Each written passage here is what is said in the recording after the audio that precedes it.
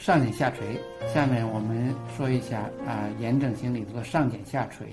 上睑下垂和向上睑松弛不是一个概念。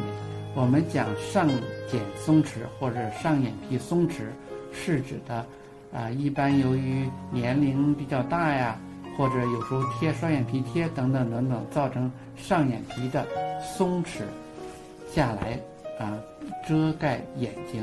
这种的情况下，我们只需要去除在双眼皮切开手术的同时，去掉一一条上眼皮，就可以解决这个问题，是非常容易的。